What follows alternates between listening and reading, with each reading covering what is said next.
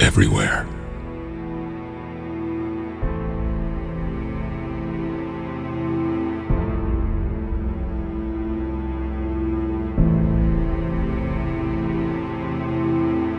It's all about pride and ego.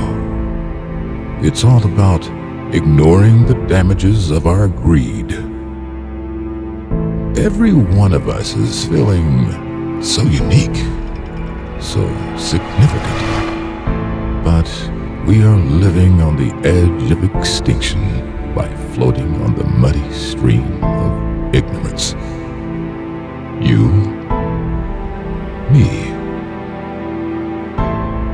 we are all visitors to this time, this place.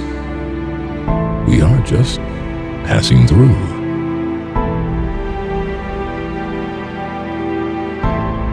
And now, I'm asking myself, is there enough time